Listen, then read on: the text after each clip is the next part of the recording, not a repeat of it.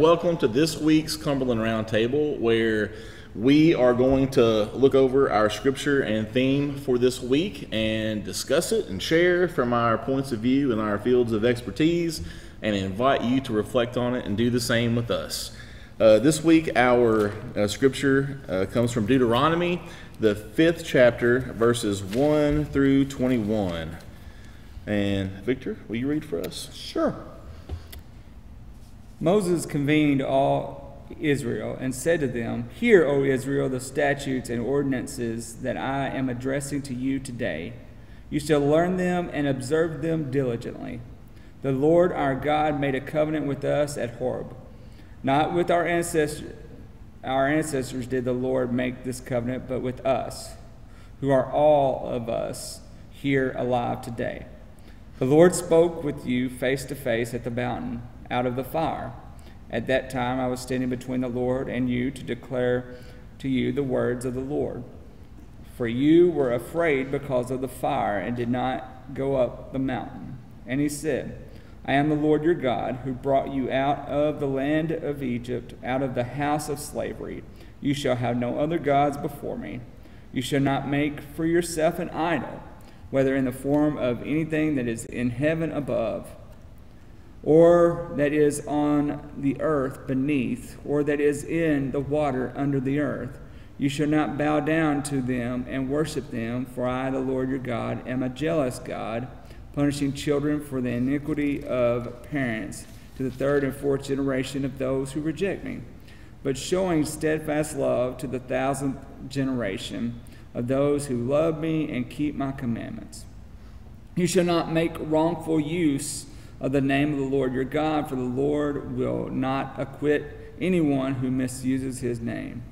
Observe the Sabbath day and keep it holy, as the Lord your God command you, commanded you. Six days you shall labor and do all your work. But the seventh day is a Sabbath to the Lord your God. You shall not do any work, you, or your son, or your daughter, or your male or female slave, or your ox, or your donkey, or any of your livestock, or the resident alien in your towns, so that your male and female slave may rest as well as you. Remember that you were a slave in the land of Egypt, and the Lord your God brought you out from there with a mighty hand and an outstretched arm. Therefore, the Lord your God commanded you to keep the Sabbath day. Honor your father and your mother as the Lord your God commanded you, so that your days may be long and that it may go well with you in the land that the Lord your God is giving you. You shall not murder, neither shall you commit adultery, neither shall you steal, neither shall you bear false witness against your neighbor, neither shall you covet your neighbor's wife. Neither shall you desire your neighbor's house, or field, or male or female slave, or ox, or donkey, or anything that belongs to your neighbor. The word of God for the people of God. Thanks, Thanks be to be God. Thanks be to God. Um, Samantha, would you open us in prayer? Yeah, let's pray. God, thank you once again for this time to be together here around the table and in all of the places where people whom we love are watching. We just pray, God, that you would bless this time, bless the reading of your word and its application in our lives, um, and grant us wisdom, God, as we discuss and learn together. It's in the name of your Son, Jesus, that we pray. Amen. Amen. All right. Matt, why don't you start us off with you got for us to Okay. reflect on today? Well, uh, as I was reading back through this, three words stood out to me. And my version that I read is the NIV, and you were reading the NRSV. Um, so two of the three words showed up in yours, but the third word was a little different. Tricky. Uh, tricky. Uh, but the words hear, learn, and follow, and I think NRSV said observe. And those stand out to me because to me, hearing implies listening. And if you are to listen, then that means somebody else is speaking and someone else is probably teaching. There's an opportunity for learning. Um, and so when it comes to the Ten Commandments, you know, we're not just supposed to hear them.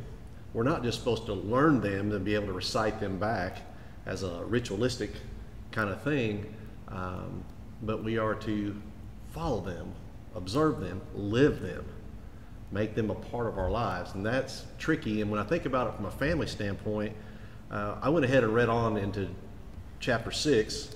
And in chapter 6, you read, These commandments that I give you today are to be on your hearts. Impress them on your children. Talk about them when you sit at home and when you walk along the road, and when you lay down and when you get up. So we're not just supposed to hear them and listen to them and follow, we're supposed to teach them to our children as well. And where do we, where does that happen? Well, it doesn't happen just here in the church. It happens at home too. Um, you know, I think that God places a big emphasis on family. When you look at throughout, even in ancient culture, it seemed like family was important. When you, uh, the things that I've, I've read and I've seen about what family structure and homes look like, it wasn't just mom and dad and 2.3 kids and the family dog. It was mom and dad and their kids and their parents and maybe an aunt and uncle and their cousins all lived. I mean, family was important. And I think that God places an emphasis on family. Um, and it's kind of an obligation, maybe, that we should be taking this serious and teaching our families. Uh, not just hearing it, not just listening, but following it, living it, and teaching it. Well, that's interesting because it's a good point because God calls us family, right? Like that's mm-hmm. Mm-hmm.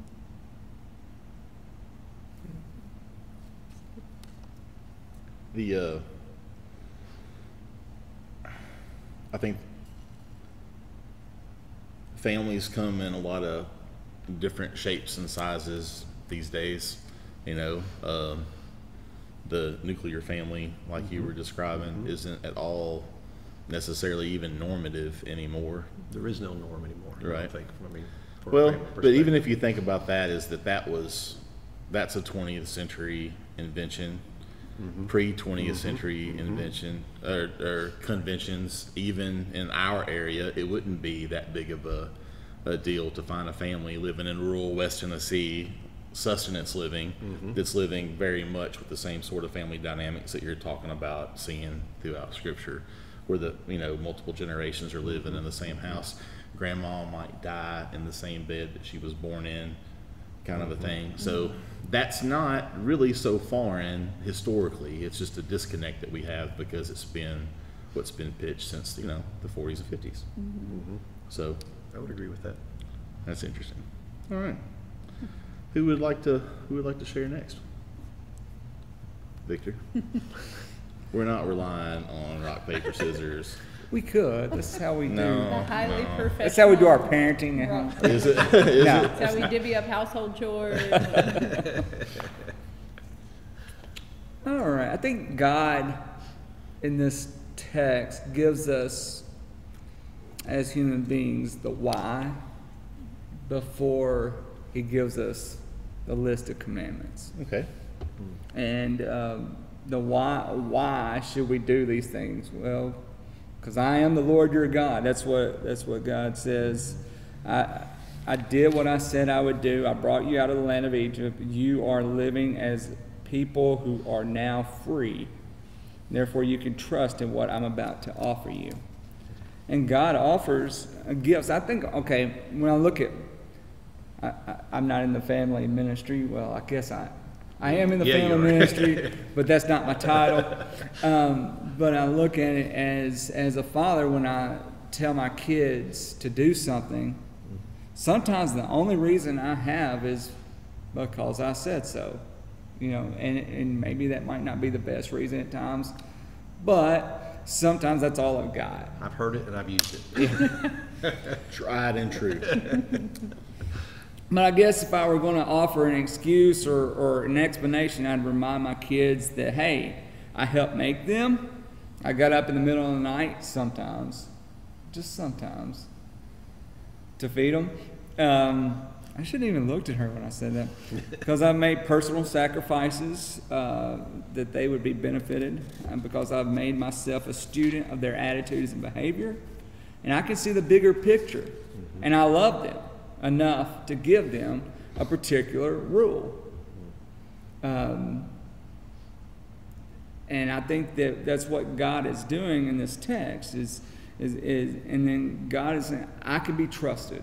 I'm giving you this gift of the commandments. But I think that we often look at these as rules. a list of rules, but I, I believe that they're much more than a list of rules. I believe they're a way of life. And, and within the commandments uh, is God showing us how to honor and love God.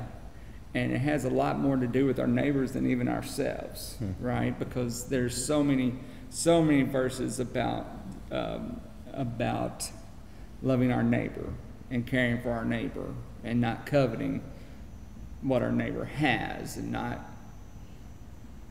doing things wrong to our neighbors and lying to our neighbors. Um, God has given a people an identity and He's shaping us into a community.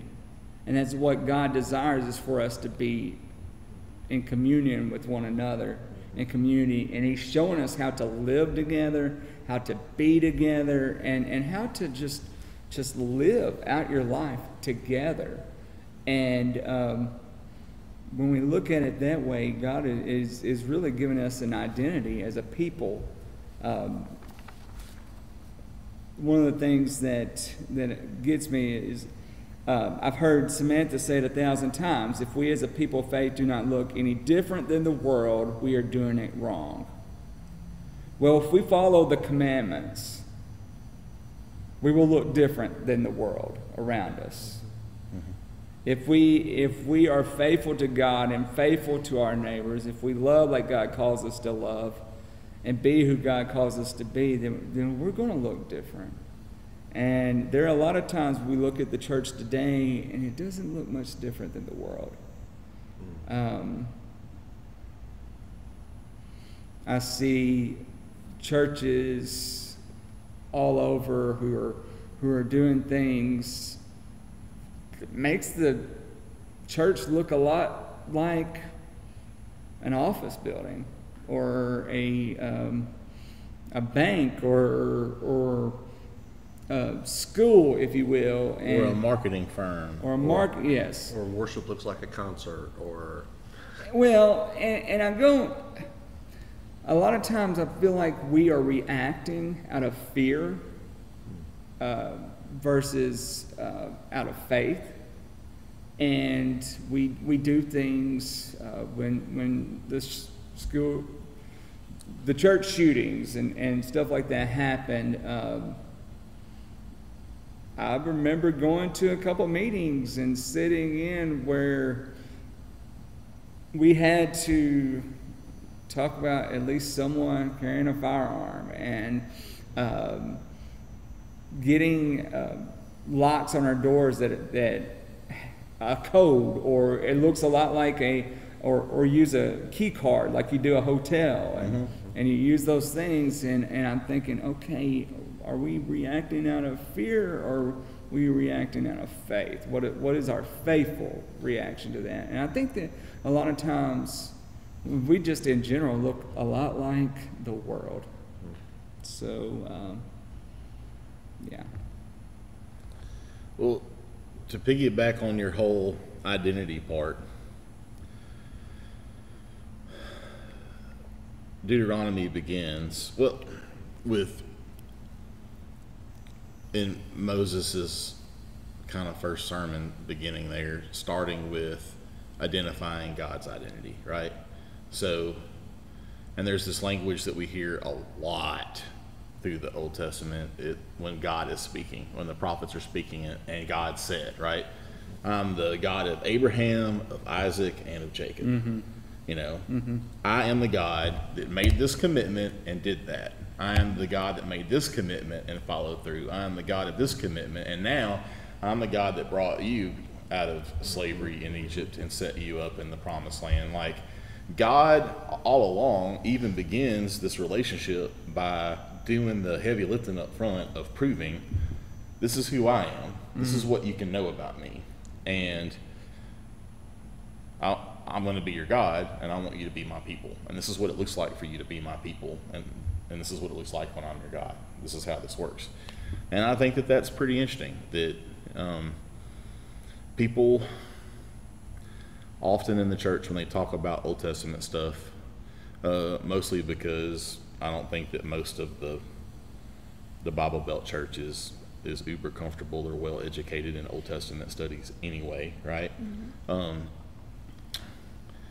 we tend to colloquially talk about like it's almost like God's different before Jesus, mm-hmm. like God's meaner then, mm-hmm. or you know, God's angry. And I'm like, really? So why is God going out of the way here to establish up front? Look, I have made my commitments up front. I, you know, I called the shot way out and have kept up with my commitment before I invited you. You know, mm-hmm. and How many times did he forgive them and give them a second yeah, opportunity? right, right, right. And this, you know, this is after wandering in the mm-hmm. wilderness for forty years, and that didn't come up there, you know, so much. Um, so when when we when we are looking at our identity in God, even in Old Testament, we we see that it begins with God showing us who God is, and I think that that's pretty important takeaway. Yeah. Uh, there's also a sense, um, you, something you said that kind of struck this in me too. Uh, this is God showing. And you, for all of these other, um,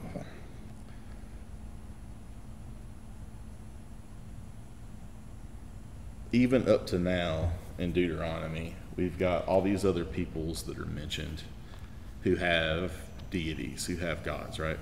Mm-hmm. And they don't really know anything about their gods. Like it's a free for all. Like it's a it's a okay. We have this we have this Baal god, or we have this you know uh, these fertility gods in Egypt, or whether it's for for people or whether it's for uh, all these gods that are attacked firsthand in the plagues, right? You've got a God that says, we do this. This is God saying, mm, not really, you know.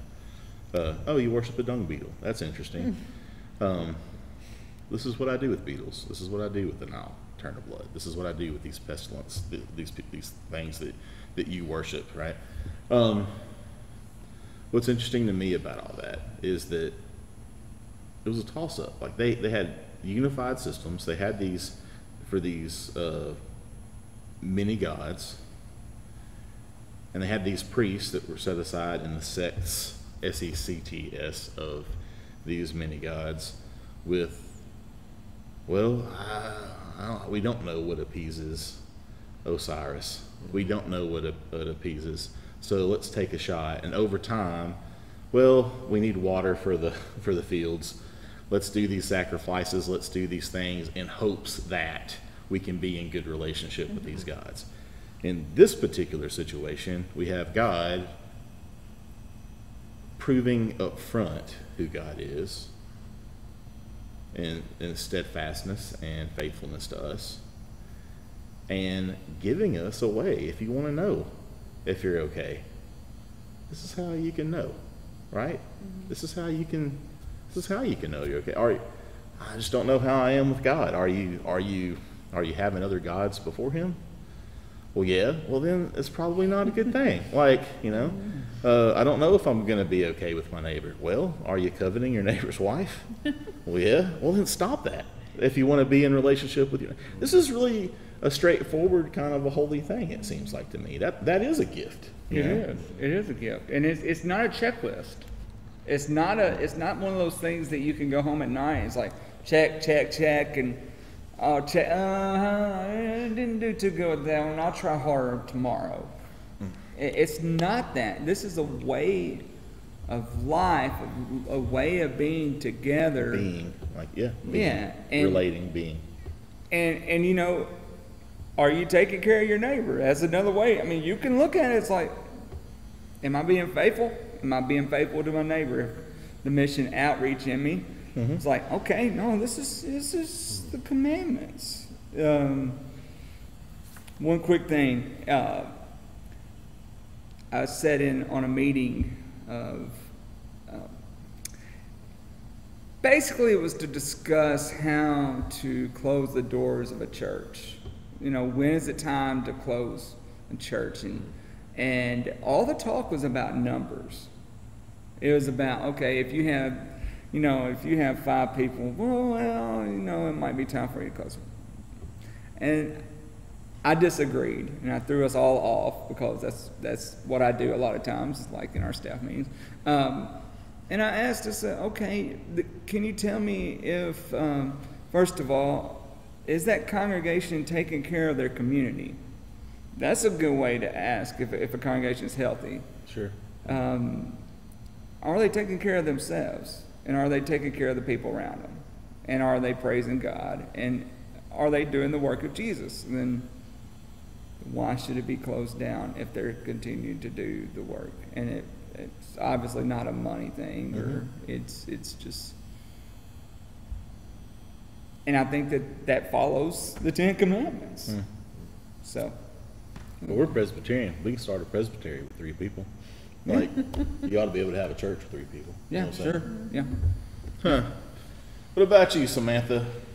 Um, so there were a couple of things that stood out, and they even are kind of similar to what Matt and Victor have already pulled out. But I, I think at various times, um, like in society or in public discourse, when we don't have anything better to fight about, we fight about whether the Ten Commandments should be posted, you know, in a courthouse or in a school or a bank or whatever. I don't even wherever they're, you know, should they or shouldn't they? um, which I think actually goes against the spirit of the Ten Commandments, because like Victor has pointed out, they're not just meant to be like some checklist that we as a society should all be following. Um, in fact, I don't even think they're the end all be all for like faithful and Christian living. Um, but so it made me think about it in in these couple of ways. And i noticed in verse 2 the lord our god made a covenant with us. Um, so in other words that, that's moses talking but in other words keeping the law signals us as a covenant people. Like and, and you said it a minute ago like when we follow god's law we enter into the covenant i mean we acknowledge our place in covenant with god and I think that's important. And then in verse 6, and Victor pointed this one out I'm the Lord your God who brought you out of the land of Egypt, out of the house of slavery. Um, so, in other words, you can trust me. I'm not just giving you a list of 10 things that you should or shouldn't do. Uh, you can trust that what I'm offering you is a way for you to take care of yourselves and of one another um, and to honor God as, as a part of the covenant. Um, and I, I thought of it this way for adolescents like, we know that what do they want to do with authority? Rebel against it. I mean, they're figuring out, I know, they're figuring out how to be individuals, how to be independent. And so to do that, you have to rebel against your authority, right? Um, so I think when we offer up the Ten Commandments, like this list of things we must do, uh, we just invite them, even subconsciously, to want to rebel against God's law. But guess what? Teenagers super love relationship. And so I think when we offer the Ten Commandments, I think in the spirit of what they are, when we offer them as an invitation to covenant relationship, we encourage young people, I think, to to strive to keep God's commands as a way to love God and to love neighbor, to take care of one mm-hmm. another. Mm-hmm. I had written in my notes, God wants a genuine relationship with us, not merely a set of rituals that we must follow to stay in His good graces. Mm-hmm. All right. So, uh, I heard you say relationship. He talked about Yeah. relationship. there are a thousand things that come up as a pastor that surprise me in the life of the church in conversations with people. When you find out, like, uh, you'll hear somebody throwing around something that's unique to the CP church, and they'll they'll want to say, "Well, that's not very Cumberland Presbyterian," or "That's not what CPs believe," or whatever. And so you tend to give people the benefit of the doubt that when they say something very specific like that, that maybe they have a reason for it and they know what they're talking about. And so I'm always surprised when they keep talking and it's like, oh yeah, I, I don't think I don't think that you're correct there. Like if we're being, ta- I'm not I'm not fussing about your sentiment. I'm just saying maybe be careful about saying this is what CPs believe because I don't think CPs have anywhere in our doctrine that specifically. You know. Um, so people will be very specific about things as if they are authoritative, even though they don't have um, actually anything backing it up. One of the things that comes up a lot in that vein is um, And so my friend asked me, you know, what does it what does it take to be a Christian? And it's like, you know, you be a good person, you go to church, you follow the Ten Commandments, and you know, and you'll go to heaven. And I'm like, okay, the Jesus wasn't anywhere a part of what you said. It's actually in the name, you know, like Christian, Christ, like like Christ. You didn't even mention Christ. So somewhere along the line, the church has clearly gotten derailed with the checklist law thing too, um, to the point that if the whole point of church is to help people to hear the invitation to be in relationship with Jesus, then that is counter to a checklist type of mentality. Mm-hmm. And yet, I run into that a lot. Like I feel, and, I, and then you feel bad. You're like, okay, I've been preaching here for how many years? Clearly, I have not been overt enough about what it means to be a Christian. I, or, or, or did I? So then, then you feel like an idiot preaching to a bunch of people in church that are in church every week, that are here all the time about like basic stuff and watching them go, yeah, no kidding. Yeah. Well, maybe Jesus like knew that that was our nature. Maybe even by the time Jesus was walking the earth, because Jesus narrowed it down even further, right? I mean, what's the greatest command? There are two: love the Lord your God with all your heart, soul, mind, and strength. Love your neighbor as yourself. You don't even have to remember the ten. Like you don't. I'm not even gonna make you keep up with the ten. You just remember these two, and all the all those others will take care of themselves. Mm. In which, to me, when he says that, he says like those two include the other eight. Yeah, yeah. That If you do they're, these two, you've got it all covered. Right. Yeah, and I mean Jesus also also said that I came not to abolish the law, But to fulfill it. but to fulfill it. And I think that sometimes we do a disservice if we don't wrestle with the commandments and wrestle with Jesus' words. And Jesus, Jesus basically walked a life according to the commandments. If you think, I mean, that's that's Sure. what he did. He came and he showed us how to live. He showed us how to love. He showed us how to be in relationship with one another. He showed us all of these things. And he also, but, but the thing about the gospel is that he also, we, we were shown grace Yeah. through God dying on the cross for the forgiveness of our sins, then raising him from the grave and giving us life mm-hmm. eternally. Like he showed us, he showed us grace because we fail as as human beings um, often.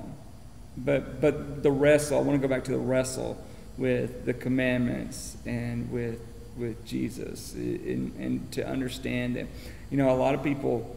I'm studying for this week um, the Leviticus text, and um, there's a preview. Leviticus 19 will be our Sunday school lesson.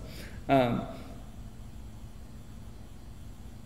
Jesus used Leviticus a lot, and it was more about relationship. And we always want to skirt around Leviticus, but Jesus, the the whole okay, uh, the love your God with all your heart, mind, soul, strength. That is that is Exodus. That's Deuteronomy. But the love your neighbor as yourself. That's all Leviticus. Leviticus. And so, um, Well, which is part of the the tension with all of these um, confrontations that Jesus has with the keepers of the law over the 600 and some odd laws that they mm-hmm. had to keep that, mm-hmm. that this is morphed into, right? right. And uh, and the spirit of them and what they're for, and you know, you could use the law that was given by God for the point of keeping people in relationship with God and one another. And it can be perverted into something that was used to keep people out of relationship with God and one another. You know, mm-hmm. It's a Mm-hmm. was perversion done of it. that- And so, done so, that way so often. Jesus engages with these things in his speak and in direct confrontation. To, that's not what that means. You know, I was in a, I was in a, uh, student government associating association meeting one time in college, and was vice president. Was helping move things along. Roberts was the order, and was taking some shortcuts to keep it going because you know we had class coming up, And uh, one of the professors came over, and whispered in my ear, "You know that's not how that's supposed to work." And I was like, "Yes, sir." And so I quit. But you know, give us a law, and we'll find some ways to manipulate We'll find the manipulate it. loophole in it. yeah. Yeah. Yeah. Don't mind playing by the rules. I just want to know, Know what they are. Yeah. Yeah. Well, uh, our relationship with God is not found in loopholes. Mm-hmm. All right. There's there's there's nothing to cheat. Mm-hmm. There's nothing to try to make it better. It's given to us. If we're if we are cheating in our relationship with God, it's only cheating ourselves. Right. It makes less than the the gracious, mm-hmm. merciful gift, Yeah, we're gift not that hurting God's given anyone but ourselves. Yeah. So, well, thank you um, so much for your time today. Uh, I hope that you will reflect on these things and uh, share with us wherever you find this on Flocknote, on Facebook, uh, whatever, or come by and have a chat with us, or send us a text or an email or a message on a kite, carrier pigeon. They're kind of nifty. Uh, smoke messy. signals. I said nifty. They said are messy. messy. Send those to Matt, No, the carrier pigeons, will you? Um, and we look forward to hearing your reflections and uh, looking forward to being with you soon. Peace. Peace. Bye, guys.